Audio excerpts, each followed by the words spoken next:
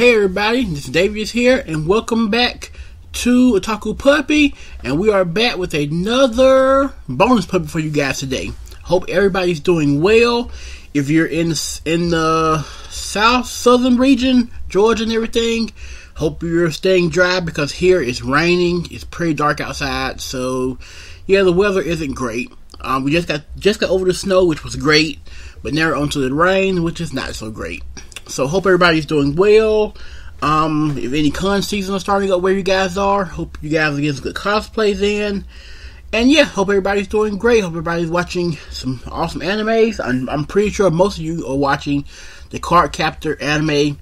I was gonna watch it, but since I haven't, I don't remember the ending of the original series, so I decided to go back and rewatch the original, and then I'll just catch the new one later on. I heard it's getting dubbed, so I'll just catch it later. Um, but yeah, so enough rambling. Um, I'm back today with another bonus puppy for you guys. And this is one I've been wanting to do for a while. Um, I originally wanted to do it with Robert. I just haven't had, had time to get with him. He works a lot, so he's kind of more, a lot more busy than I am. So that's understandable. So I figured I would go ahead and do it and get out the way because it's what I really want to do for a long time. And this is sort of my um overview of the Konoha Corner podcast.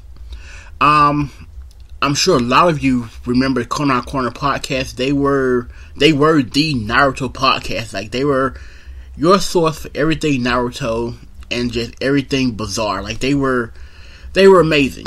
And um they're sort of reason me and Robert started doing Otaku Puppy was because of them and sort of got into the whole podcasting thing and YouTube thing was because of Konoha Corner. And um, let's go right into how I first got introduced to Konoha Corner. Um, this was probably around oh I don't even know. I want to say maybe oh eight between between like 08 and 2010. Maybe this was back when MomoCon, anime convention here in Georgia, was still at the Georgia Tech um, like like the Georgia Tech like student center thing. Um, it's hard to explain. Kind of, it's almost like a auditorium, but it's for the students, and it's a pretty big place. And I wish they still had it there. Honestly, it was it was amazing there, but kind of got crowded after a while. But um, this was one of those years we were there. Um, this is also the first place we saw Detroit Metal City live action movie. Which, if you have not seen Detroit Metal, Detroit, Detroit City Metal, oh god, I just forget up. But you know I'm talking about the Detroit Metal City um, anime or the movie. The movie is pure, pure comedy genius. It's amazing. It's so great. It's so great. But anyway, um, so this is one of those years we went. Um, this is back when the convention was free. And one of those years we were kind of we were there. It was getting kind of late, between seven and maybe like eight nine o'clock. Still kind of roaming around. No, not much to do. We look at the schedule and it says live podcast, and we were like, uh, well, nothing else to do. Why not? Let's just go and see. We walk in the room, and sorry if you came my phone. Sorry about that.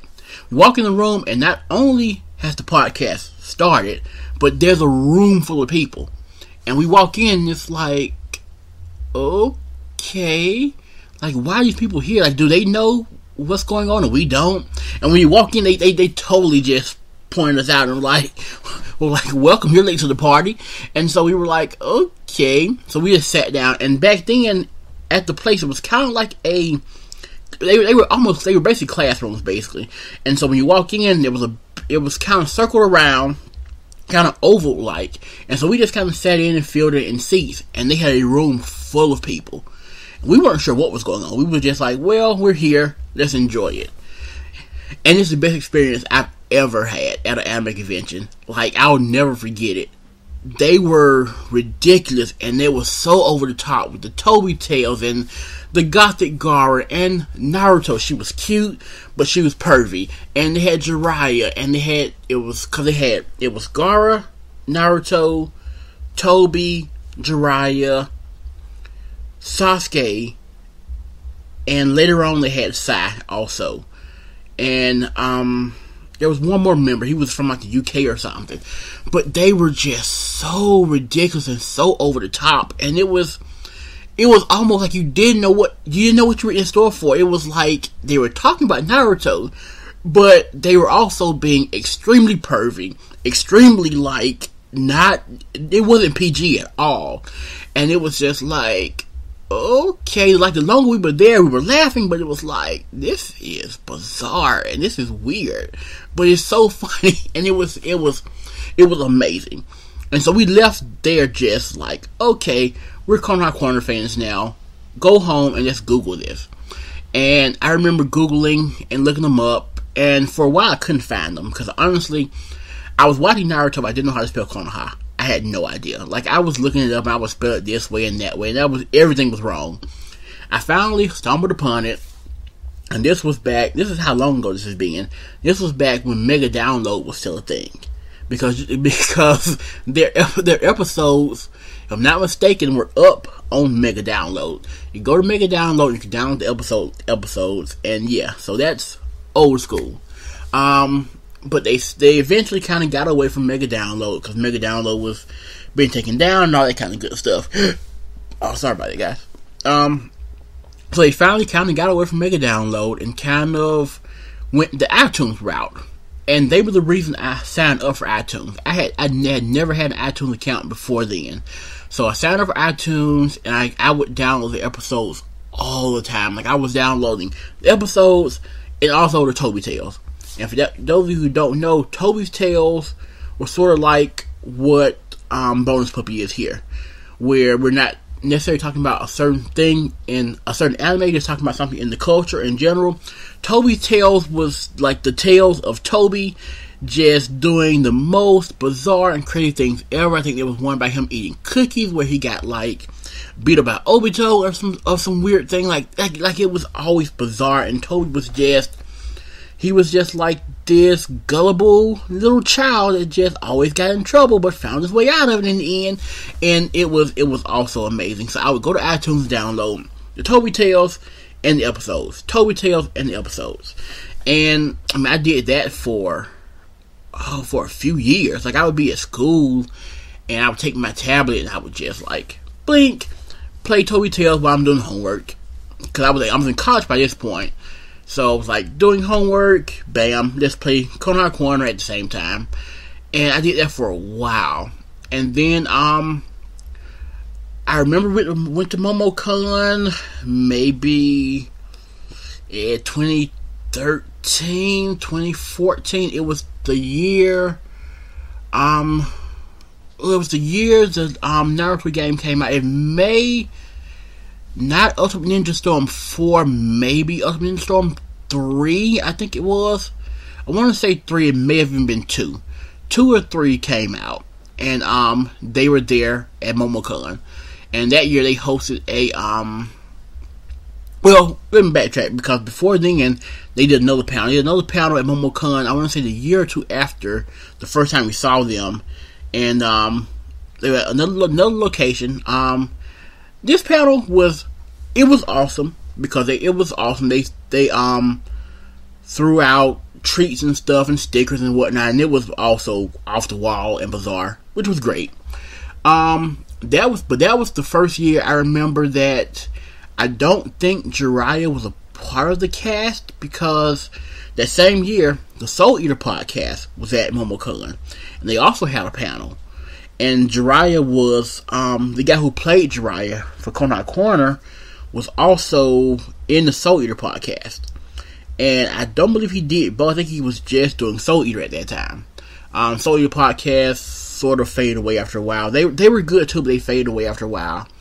And so I do remember that third that next year, I'm talking about with the game, they hosted a panel where they um, played the Naruto game and what they did was they um, dubbed over um, dubbed over each character um, in the game, or at least the character that they talk for on Konoha Corner, like Gaara, Voicer, and Jiraiya, Jiraiya, and so on and so on.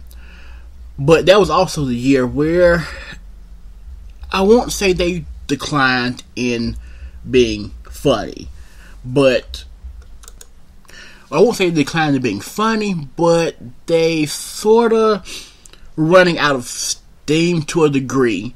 Like, it wasn't that they weren't being funny, but it was it held them back. One, they were only doing characters that they voiced on the podcast. It would have been better if they just, just did the cast in general. Just do pick a pick a character and just voice them from what you think about them in the anime. You know, personality wise, that way. Um, so that year, I also remember that year, um, Robert actually cosplayed as Gaara that year, and we were in the gaming room, and Gothic Gaara passed by Robert. and He was like, "Awesome cosplay," and like that was that was that was epic. Um, but yeah, so that that's the final year I remember them actually even doing a panel at a convention. They may have done one after that, but I don't I didn't I don't remember another one. Um, it's also the year where I sort of lost track of the podcast for a while. Like for a while, I thought they were just done with it because the iTunes thing was pretty much no more. Um, I know a couple times they they they were doing like you know like PayPal donations before that was really popular, and so I know for a while they were doing that for a while, and then um they just sort of kind of faded away. Then for a while the the um podcast was being uploaded on YouTube, just audio only on YouTube, which was cool too, which was also awesome. And so they were doing that for a while, which was like okay, well YouTube's free, that's even better. So I'm all about the free, so I get it. So that was that was awesome. They did that for a while, and then again it kind of faded away. And also by this point, they were doing the Fairy Tail podcast, which to my knowledge is still going on, and it's pretty much pretty much gotten as popular as Konoha Corner was at the time. They were doing Fairy Tail and doing Naruto. Um, Gothic Gaara had started doing a few reviews on his own. They were also dubbing um, dubbing the Naruto manga. I want to say maybe the shipping the manga, but they were like fan dubbing the manga. So each person was a character, of course, and they were doing the voices and whatnot. So they were doing that along with the podcast. Um, about this time, I sort of lost track of them again. I wasn't really into the whole dubbing the manga thing. It was cool, but I wasn't really into it that much. So I kind of went away a little bit and would check them out here or there. And um, then they got to the current form they had before they finally wrapped up, which was they were doing um, the Konoha Corner episodes live on live on YouTube via I think it was Google Hangouts, if not mistaken. They were doing it via Hangout. And this was the last form of Konoha Corner. And by this time, it sort of had just. Like I, I, I myself as a fan, it kind of just tuned out. I tried to stick with them, but I kind of tuned out at the end. And I, I don't mean this by any disrespect to them at all. They were all great. They always been my favorite podcast ever. It's just by this point, um, I think even they admitted it some. They just kind of, sort of lost interest in Naruto. And the passion for it just wasn't there anymore. And if you watch their podcast from uh, maybe two years ago because it's been over for a while now. So maybe two to three years ago, if you watch their Konoha Corner podcast on YouTube, you can see that it's just it's just not there. A lot of the cast wouldn't show up. You would get like you would get Gaara because he was the main one running the podcast. You would get Gaara, like you may get Naruto sometimes, and maybe Sasuke, and like you would like you would like when we first when I first got introduced to Konoha Corner, there was at least seven people, at least seven. By this part of Konoha Corner with the Google Hangouts, like you might you might get all six or seven people, and you might just get three or four. Like like they were they were doing half shows with half a cast, and they would do the review of the anime, and some of them weren't, weren't even watching them. Yeah, some of the episodes were filler, true enough, but some some of them weren't even watching watching it at all to even review it. They were just oh no, I didn't see it this week, or no, I didn't see it either. Oh, I'm behind on it, and it was just like you do a podcast based on this anime, whether it's filler or not filler. Your job, so to speak, is to watch it and review it. And so they weren't watching it, and they were kind of just focusing more on dubbing the manga and just sort of being silly and it it just it wasn't working for me anymore. Like I love the silliness, but the silliness always went with the Naruto theme, and now they were kind of getting away from that and just weren't focusing on it so much, and they just kind of got away from it. And then um, after a while, maybe last two years, maybe yeah, about maybe around 2015 or so, um, I just kind of stopped even bothering to watch the episodes. Um, I would catch the live stream sometimes. I would watch a little bit of it and just kind of cut it off. I just wasn't interested anymore. Like I said, they were doing Fairy Tail by that time too, and Fairy Tail was definitely getting more popular as far as their podcast was going. So they they weren't even bothering with Naruto anymore. And so um, I noticed it was when Naruto Shippuden finally ended. Um, or at least the manga ended anyway, I think. Um, they they have a video up now. It's about oh maybe three to five hours, and it's their like farewell video to Konoha Corner, the podcast, and also their farewell to Naruto in general. And um, I haven't watched it yet. I just haven't had the nerve to sit down and watch those three to five hours yet. But I plan to watch them and just kind of get their last, very, very last episode of Konoha Corner ever and get their last thoughts on Naruto because, like I said, the podcast was a very, very influential in me doing what I'm doing now, and it will forever be one of my favorite podcasts. I probably still have some of the episodes downloaded somewhere, either in my iTunes account or on an MP3 player somewhere around here because I was, I was in love with Konoha Corner. Like, never missed an episode, and Robert was too. Like, it was, it was great, and um, it was kind of sad to see them kind of go out the way they did with the passion just not there anymore. But I understand it. When you do a podcast based on just one anime, especially one as, as long as Naruto is, manga wise and anime wise, you do tend to kind of lose interest after a while, I guess, because there is so much to cover, and you can only, you know, that passion can die away after a while.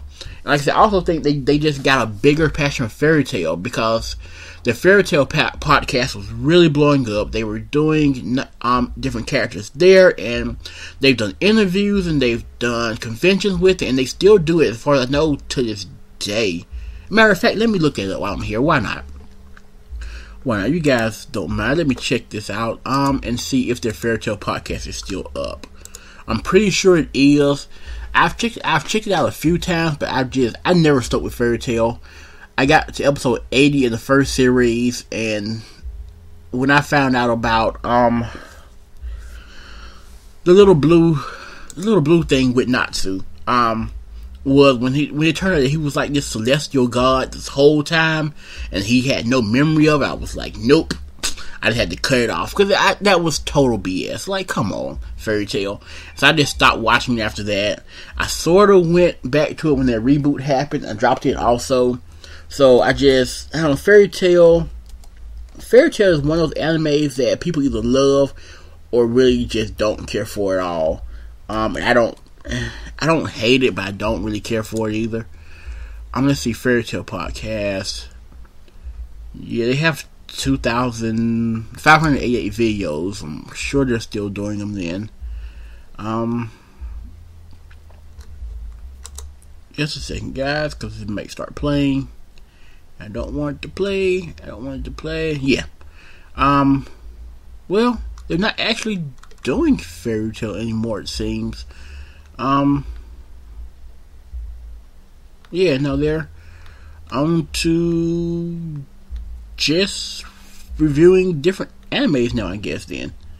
Um. Yeah. Okay. Well, that's that's that's different. So I guess the Fairy Tail thing is done also then.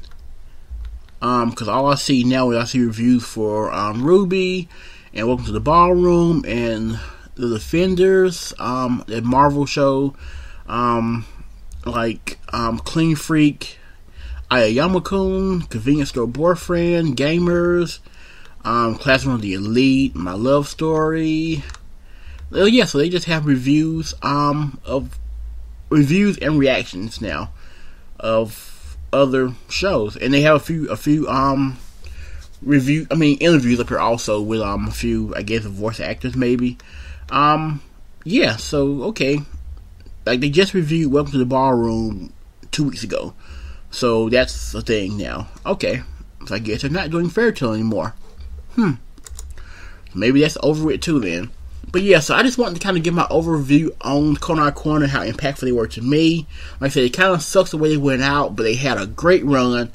Um, I'm glad to say I was there for a lot of it. Like I, I wasn't there from the beginning, but I was definitely there in that middle, like middle 2000s run from like, like I said, maybe 08 to about 2013. I was there and it was amazing.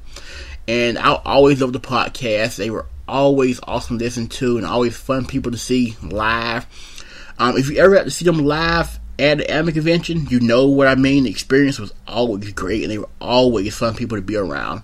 So, uh, yeah. That's basically it. I'm going to ramble on too much longer. Um, if you have never heard the Konoha Corner podcast, uh, check out YouTube. I'm sure the episodes are there somewhere.